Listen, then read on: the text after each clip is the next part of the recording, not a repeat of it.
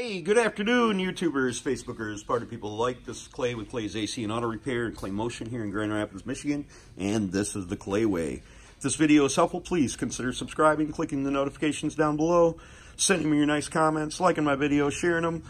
Please watch the whole video, uh, or at least turn the volume down and let it play when you get to the spot that you need. And remember, if anyone else can do it, you can do it too. So we have a 2010 Dodge Journey with a 3.5 V6 in it, and we are going to replace the EGR valve in this thing. And it's located here on the driver's side, and it's up underneath there, and it's probably not easy, but we'll, we'll find say out. this from future, you know, from past experiences.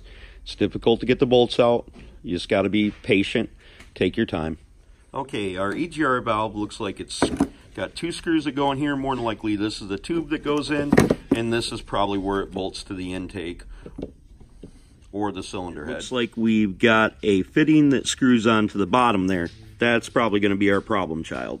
Luckily, after putting my finger down there and not feeling a hose that goes up in here, that's a good thing. More than likely, this is a cast product for different models, and that's why it doesn't have one.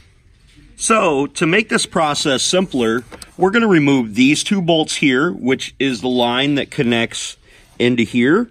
So we don't have to worry about trying to get that screw out right there. And we're going to remove these two bolts right here. And then the line will be connected and we'll remove it while it's out of the car. It sits in there just like this. So we're going to have two bolts that go in here and two bolts that go in here. And they're more than likely 10 millimeters. I'm just guessing right now, but we'll see. These two bolts on the intake are 8 millimeter bolts. And then your two bolts that go into here are 10 millimeter bolts. This is the 10 millimeter extension and socket that I use to remove the lower bolts right here. Um, you could probably use a combination of everything. It, it, you got a fair amount of room inside there.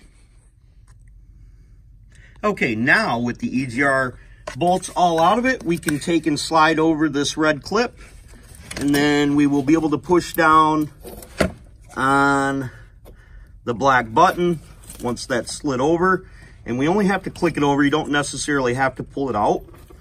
It's kind of hard to do with one hand. So I'm going to push this out. Sometimes these are a little bit sticky, so you can take a screwdriver and push them a little bit.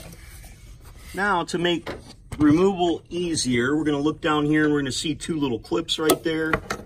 And we're going to go ahead and remove them with some pliers like this just to make the removal easier. You could probably fish it out of there if you tried, but I'm gonna do it because I know it'll be right and simple. Okay, so now with the hose ring plier, the hose pliers, I'm gonna take and I'm gonna twist the line just so it breaks the seal between the nipple and the rubber gasket or the rubber hose. Got that rubber hose moving a little bit, you can go ahead and pull it off. Okay, so you're going to lose a little bit of coolant when you do that, so make sure you got something underneath the vehicle to trap it. We don't want to hurt the pets. You know, they like to lick that stuff up because it tastes sweet. I only needed to remove the lower hose, and then that gave me enough room to be able to wiggle this thing out of here. Now that we've got our EGR off, we can actually visually inspect it through the windows. We're going to remove this two 8 millimeter bolts that are in there, and then we'll be able to inspect the pintle position on this one and see if our EGR was actually stuck. Now, I also want to say that generally, if you can get these to move up and down, like with the screwdriver or something, I'm not going to do that, but you can spray a bunch of brake cleaner or carburetor cleaner inside it, clean these out, and you may be able to get them to work again. I put mine in a vise, and the reason that I put it in the vise because the bolts are generally tight because they heat up and expand all the time and I'm going to use two wrenches to loosen the bolts. Okay, so I'm going to try to get you guys some good light inside there, but you can see with the tube removed that it's pretty gummed up inside there, and that would be the one that you would primarily need to clean really well, but it's very difficult to clean them, so I'm just going to replace it, but you possibly can do that and save a couple dollars. So what we're going to be replacing it with is this Dorman part number 911125, okay? And it comes with all the, all the gaskets and stuff somewhere around here, okay?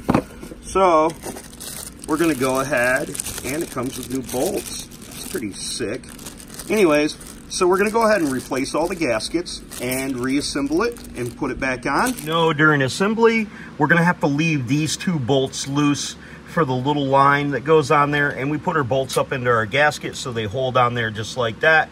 And then that'll allow us to be able to clock it properly. We don't have to reach back there with an 8 millimeter wrench and tighten it up. You really can't get a socket or anything on it. I mean you can but it's going to be easier to tighten them back up with the wrench and then make sure we get our EGR tube put in the hole and then tighten everything down once we get everything connected like our electrical connector tighten up these two screws then these two screws, and then do our back line screws third and last.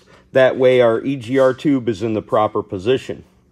Pretty easy stuff right there, guys. Hopefully you guys enjoyed the video and you'll consider subscribing, sending me your nice comments, sharing my videos, liking my videos. Got a question for me, hit me up on Clay's AC and Auto Repair on the Facebook, and I will be happy to try to answer them for you. God bless you guys. Remember, if anyone else can do it, you can do it too.